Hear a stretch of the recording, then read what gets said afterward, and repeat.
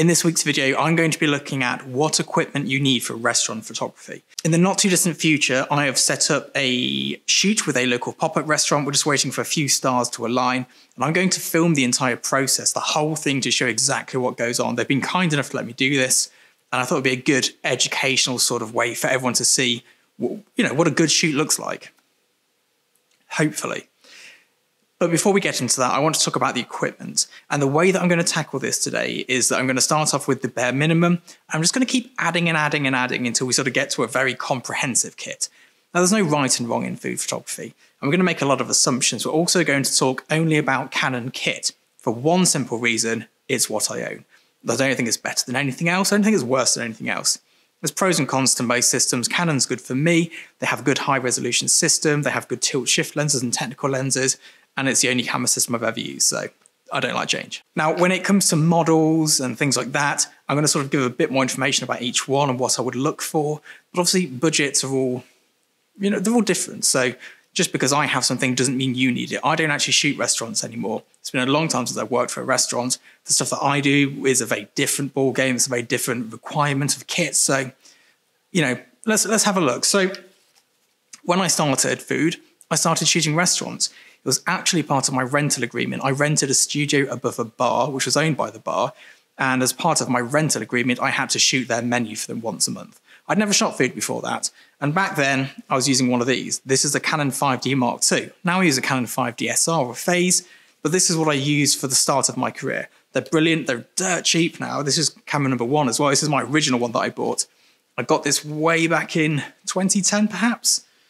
Let me know if they weren't even made then. But it's pretty old. It's seen, it's seen a good life. Now, the first thing you're obviously going to need is a camera body and a lens. And if you're just starting out, I would say get one of these and a 50mm prime. Doesn't matter which one, but get a 50mm prime. It's the most versatile lens for a beginner. So if you're just starting out, this will be the sort of setup you're going to be looking for. I've got a 50mm lens and a full frame camera. I would always choose an old generation full frame camera over a brand new crop sensor. I won't go into why in this video, but I'll do it in a future one, but just, just trust me, your images will look better. Now, assuming you're looking to do this for a profession, the thing you're going to want to do next is to buy another lens, and it will be the 100mm, but don't. The next thing you should buy is an identical second body if you want to do it for career. If it's a hobby and it's a bit of fun, buy the lens because it's more exciting. But if you're serious about the profession, buy a second identical body. I have multiple 5DSR cameras. If one breaks, if one's in the repair shop, I've still got enough cameras in the studio to pull off a production with spare kit. It's very important. So at this point here, we've got our two matching full frame cameras and our 50mm lens. Now I'd go and buy a good laptop. And the reason I haven't done it yet is because I think a backup camera is more important than a laptop on location, but you want to be tethering. It's just a, a simple thing. You, you want to tether, you need to tether. Tethering is the way forward buy that laptop, get a good tether cable. I use tether tool stuff. I just like the orange cables. They look cool. Um, I'm sure you can buy as good ones from elsewhere, but I like the orange tether tool cables. So get your tether tools, get your jerk stopper, because if you break these USB ports on a Canon, it's 400 to $500 to get it repaired. It's infuriating. So get the good jerk stopper, not just the little dangly bit, get the base plate one. I bought a cheap knockoff one thinking, how bad can it be? They're pretty bad. Buy the Tether Tools one. I'm not endorsed by them, I don't get a kickback.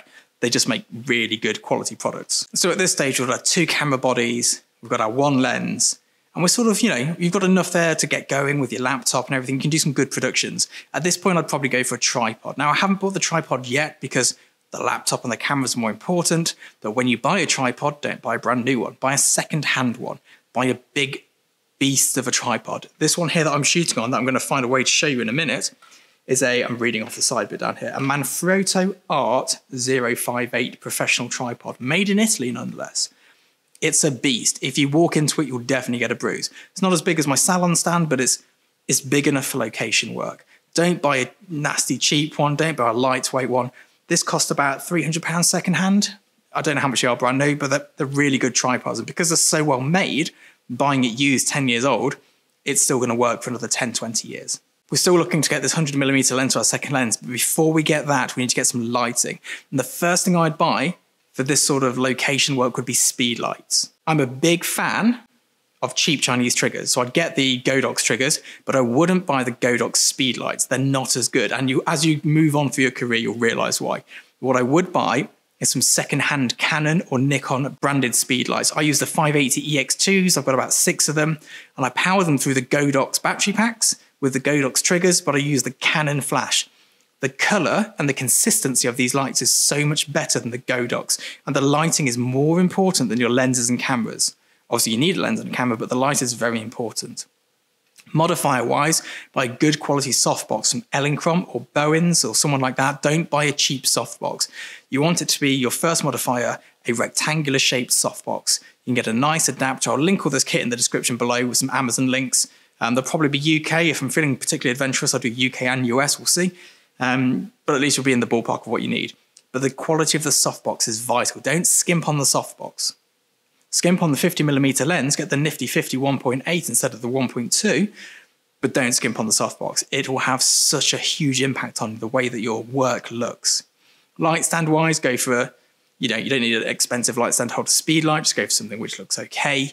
Probably a Manfrotto. Again, they're a good budget brand actually. They're not super cheap, but they're good enough quality. It's not like buying something from Cambo or Matthews, but pretty decent brand. So now is the point where we get to buy our new lens. And our new lens will be a 100 millimeter, probably a macro one. Um, for years, I used the Canon Goldring one. So Canon have like a gold ring level, a red ring level, and the Goldring one was a 2.8. It cost me like 200 pounds. I shot worldwide ad campaigns with that on a 5D Mark II. Nobody batted an eyelid.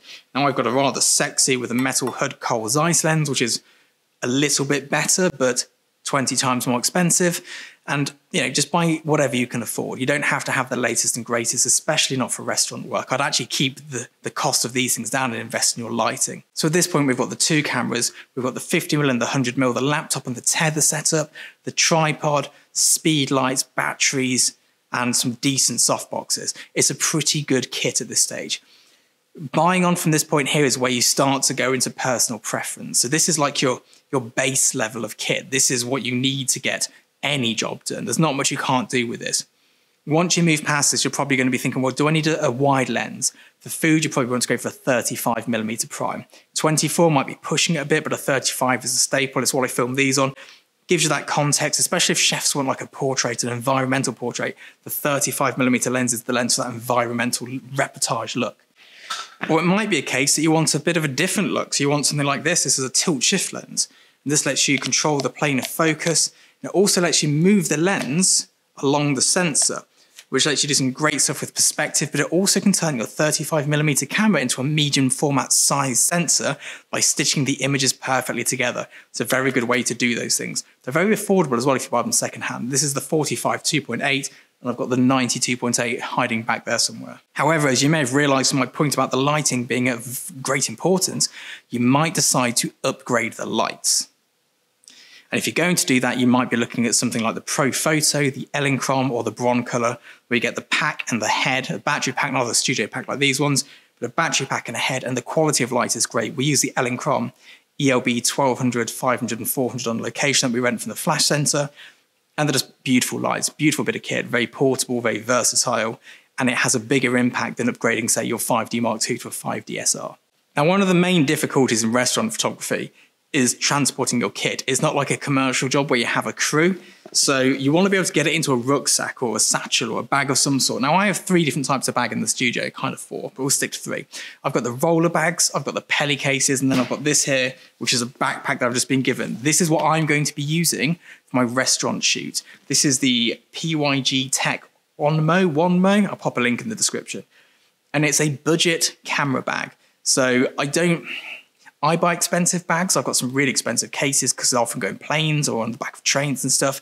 But if I was going to a restaurant, I'd be using something more like this. So this is what I'm going to do. When I do the restaurant shoot, I'm not going to turn up with broncolor heads and all the rest of it. I'm going to do it in a way that is more realistic. So I'm going to take the kit that I've sort of described in this video, pack it into this bag, go by myself without an assistant, without a stylist, without a prop stylist and a director, and just do the shoot. So if you do want to see that, hit subscribe because that'll be coming up very soon. I hope you've enjoyed these videos. I hope they're of use. Join in with our Facebook group or on Instagram. Send me any questions, and I try and make them into videos like this every now and again, just so I can sort of answer as many people as possible.